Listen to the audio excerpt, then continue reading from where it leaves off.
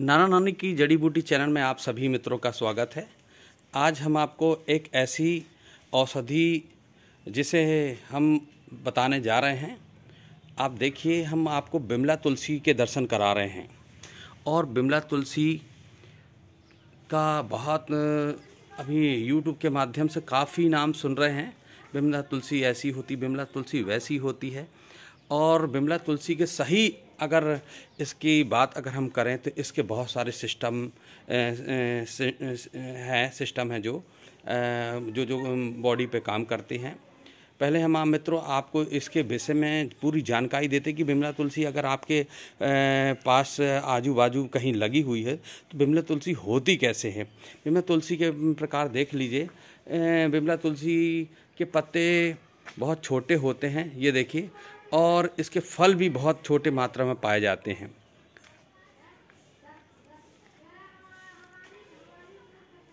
कृष्ण तुलसी, राम तुलसी और बिमला तुलसी के नाम आपने सुने होंगे। तुलसी हमारे कई प्रकार की तुलसी होती है। श्यामा तुलसी होती है रामा तुलसी होती, कृष्णा तुलसी होती है। साथ ही साथ मित्रों, इसके इसके अगर वृक्ष की अगर हम बात करें, पौधे की बात करें तो ये छः फिट की ऊंचाई होती है और ये काफ़ी इसका मोटा तना होता है, गोल होता है इसका। अगर आप देखें, सख्त होता है, बहुत ताकतवर होता है और इतनी आसानी से एक खींचने के बाद ये उखड़ता नहीं है। कृष्ण के रूप में कालापन लिया होता, पेड़ होता है। ये बिल्कुल देखिए आप बिमला तुलसी के फ़ायदे बहुत सारे हैं। और बहुत अचूक है। इसके पहले पहले पत्ते आप देख लें और इसके फ़ायदे हम आपको बता रहे हैं कि किस तरह का तरीके से इसको इस्तेमाल करना चाहिए। पहले मित्रों, जैसे हमने आपको बताया कि कृष्णा कृष्णा तुलसी और बिमला तुलसी लगभग अनुपात एक सा ही होता है और इसमें जो पाए जाते हैं फल की अगर हम बात करें छोटे छोटे इसमें फल आते हैं लेकिन उसमें बड़े आते हैं। इसके पत्ते छोटे हैं होते हैं और कृष्णा तुलसी के बहुत छो, छो, बड़े हो जाते हैं लेकिन पेड़ बहुत छोटा होता है। ये करीब छः सात फिट तक चला जाता है। और इसको कहीं पर आप बंजर ज़मीनों में पहाड़ों पे अधिक मात्रा में आप पाएँगे। लेकिन यहाँ पर इसको हम लोगों ने इसको बहुत कोशिश करके इसको लगाया है। और इसके औषधि उपयोग करने में ये देखिए, ये तना इस तरीके से इसमें, ये देखिए ऐसी लाइन वगैरह बनी रहती है। बहुत सुंदर इसका पेड़ होता है। अब इसकी दूसरी पहचान हम आपको बताने जा रहे हैं कि इसके दो पत्ते को आप चबा लें और फिर चबाने के बाद में शक्कर डालेंगे तो शक्कर का आपको स्वाद नहीं आएगी। ये ये तीसरी और पांचवी पहचान इसकी ये है। हम इसको उपयोग कैसे करें? कैसे आगे की हम जानकारी कैसे लें?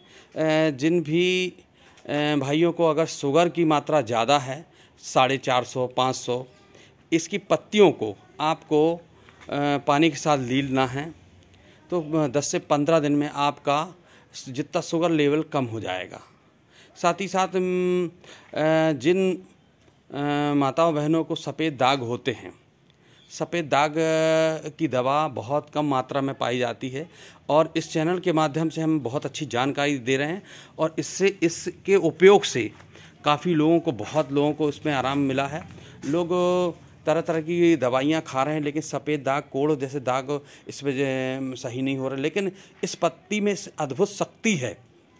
इस शक्ति को आप जानो, पहचानो और YouTube के माध्यम से आप सभी मित्रों से मैं कहना चाहता हूँ कि एक हमारे वीडियो को आप लाइक ज़रूर करें और हमें लिखें भी कि इसको उपयोग आप कैसे करते हैं, आप किस नाम से जानते हैं, ताकि हम आगे की जानकारी आप सभी को दे सकें।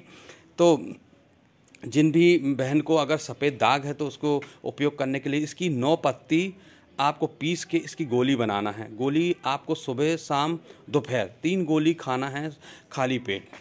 खाली पेट, सुबह आप खाली पेट खाएँ, भोजन के पश्चात भी खा सकते हैं दोपहर में, और शाम को आप इसको, शाम को खाना खाने के पश्चात सोते समय इसको ले लें।